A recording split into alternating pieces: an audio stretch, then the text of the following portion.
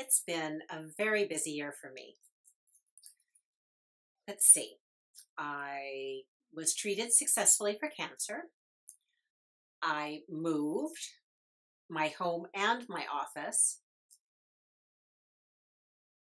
And I learned a very important lesson. Accept what I cannot change and pay attention to the things that I love and the people that I love.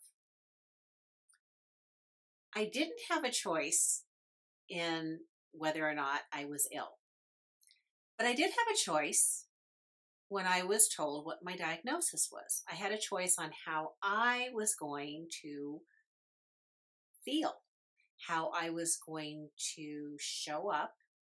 And I made a very strong decision I was going to do everything I could to get well. And I chose to be happy. Now, that might sound a little odd given the circumstances, and I chose how I was going to show up, how I was going to deal with everything. And I had a few bad days, but mostly not because I was surrounded by light. I was surrounded by caring. I was surrounded by people who were helping me get well. People who cared about me, who expressed their their feelings. And throughout everything that happened, I was positive. And I'm reminded of that today because every day is a choice. Every day and every transaction that I have with another person is a choice. How I interpret and how I respond, I have a choice. And I'm encouraging you to choose what makes you feel good, what makes you have positive, joyful emotions and look at the things that are dragging you down. And are they necessary or are you choosing to engage in behavior that isn't supporting you, that isn't making you feel good, that is not productive? This is a perfect time of year to reflect on relationships that work, on business practices that work, on how to tune up the ones that you want to keep and what you want to discard.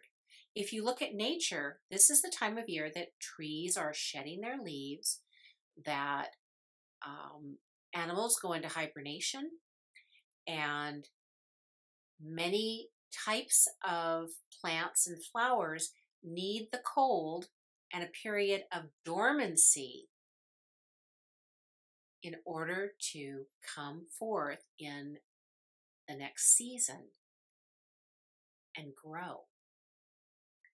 So take the time to review your practices. Take the time to see what is working and what isn't. Decide if you want to repair the things that aren't working or if there's another way to accomplish your goals. Perhaps it's delegating the things that you don't love but are necessary.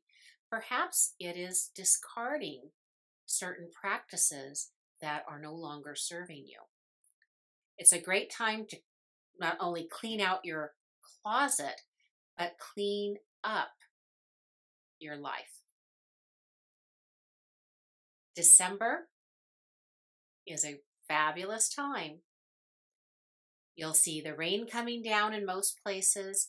You'll feel the shift in the seasons, and it's a time for you to go within so that you can come forth in the coming year in the best way possible. Judy Baker, Brand Vines. And like the grapevine, now is the time to store up energy so that in the spring you can be the best and your business can be the best ever.